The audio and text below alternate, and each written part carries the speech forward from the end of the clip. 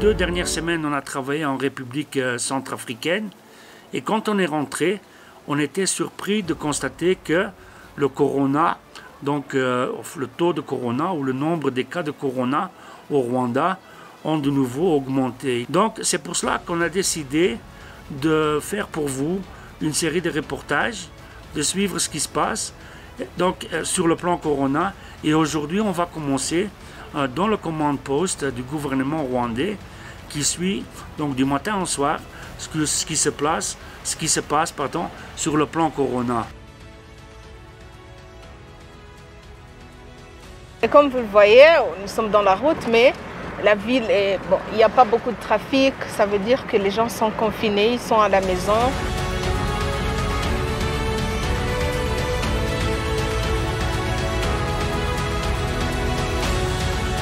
Centre de test pour faire un test rapide afin de savoir si on est sain sauf avant de contaminer les autres ou bien d'être contaminé. Donc euh, c'est une façon euh, de savoir quel est notre état de santé.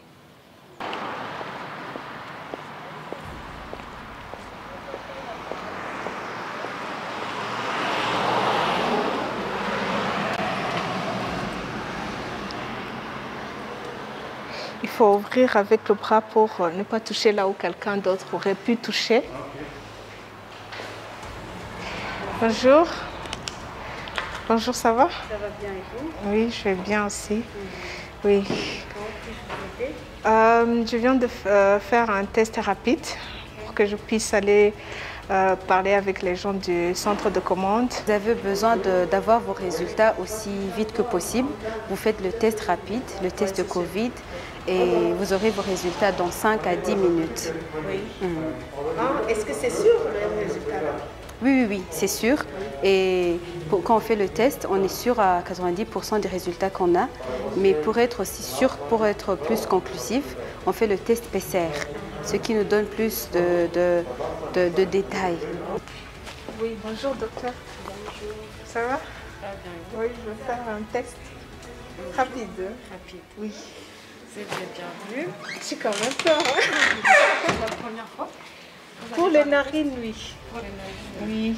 Alors, euh, le test, c'est par les narines. Je le fais dans les deux. Oui. C'est c'est un peu inconfortable, mais ça ça, ça dure pas. Je vais- ça sera vite fait. Oui, c'est comme une piqûre. Ça gratte un peu, mais... Bon, je vais, je vais essayer de tenir.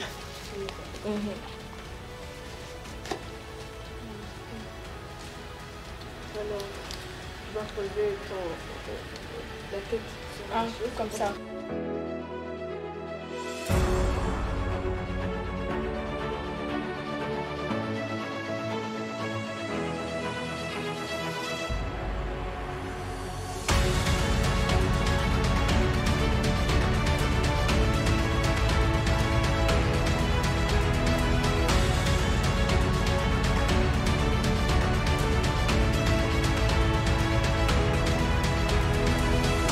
Que j'ai bien fait.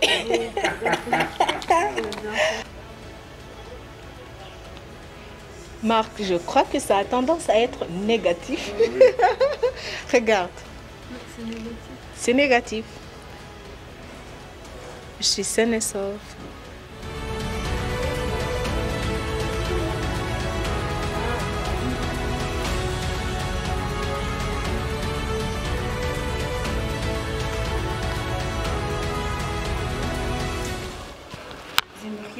Avec euh, Mobile Money Oui, et c'est 10 000 francs rwandais. c'est fait. Ok, merci. Oh, vous voyez là, je viens de recevoir un message, je suis euh, négatif du Covid-19. J'ai été testée plusieurs fois, mais chaque fois que ça me donne un message négatif, là, je suis vraiment très, très, très contente. Il y a quelques mois, le Covid était stabilisé, mais maintenant, les, chiffres ont monté. Donc, euh, ça veut dire que euh, a besoin de savoir est-ce qu'ils vraiment ils sont sur la tension, de pouvoir euh, restabiliser ça ou bien comment ils font, qu'est-ce qu'ils attendent et pourquoi ces chiffres ont monté en fait. Parce qu'on avait espéré que le Covid a été stabilisé dans le pays, mais ça a monté, donc on a besoin de savoir pourquoi. Julien, je vois que c'est donc euh, le profil qui est vraiment beaucoup plus élevé que le mois de mars, euh, le mois jusqu'au mois de juillet, je crois. Oui. Et c'est dû à quoi au fait? Parce que je vois que le mois de septembre, ça a, dé- ça a monté. Oui. C'était une vague, mais qui est moins grande que l'actuelle. Mais le mois de novembre, ça a descendu.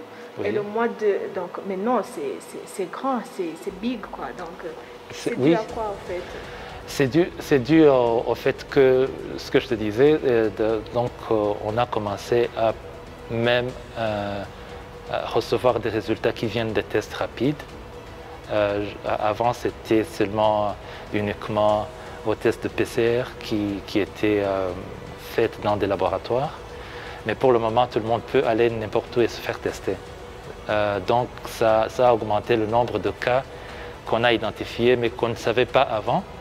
Euh, pour le moment, on a ces chiffres qui, nous viennent des centres de santé, on a ces chiffres qui nous viennent de partout dans le pays, euh, ce qui a euh, fait qu'on puisse aller jusque-là. Dans une saison pluvieuse et que c'est normalement une période où on a même d'autres formes de, de grippe normaux.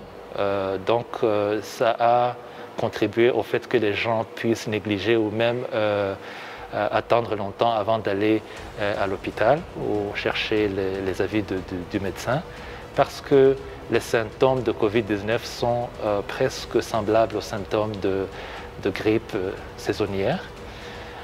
Donc cela a fait même que les gens puissent aller à l'hôpital tardivement et que, si vous avez remarqué, on a, on a enregistré des, des- des- des- des chiffres vraiment très, euh, très grands de, de- de patients qui sont euh, admis dans des euh, soins intensifs, donc qui sont sévèrement malades. Et on a même eu des, des cas de, de- de décès qui, qui augmentent parce que, je ne sais pas si vous avez vu, euh, hier soir, on a enregistré 9, 9 cas de décès. Au niveau de la, ville de Kigali, il y a eu le, lockdown, c'est le confinement total.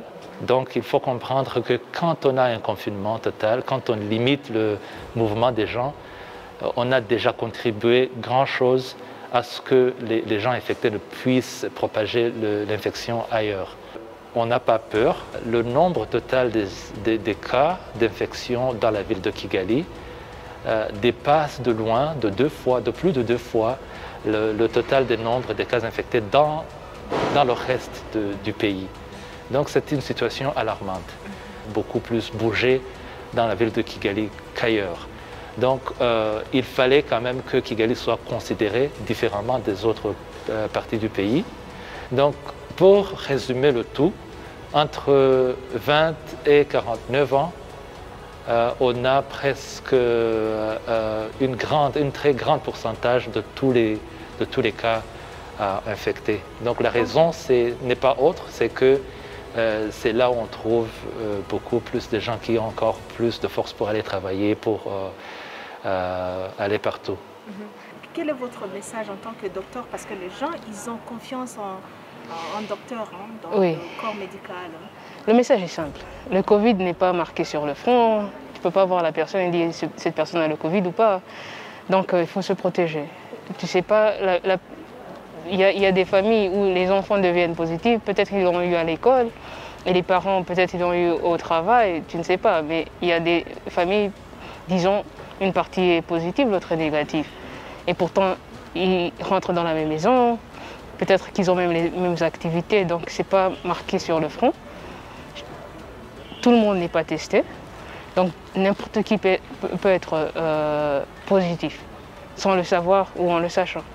Donc euh, il faut se protéger parce que tu, ne sais pas comment est ton prochain.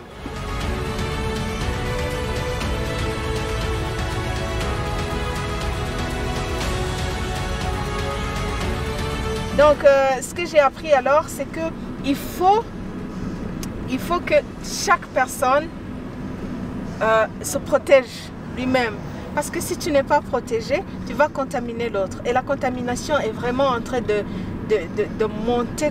Il faut que les gens comprennent que c'est à partir des jeunes que cette contamination est en train d'avoir un speed terrible.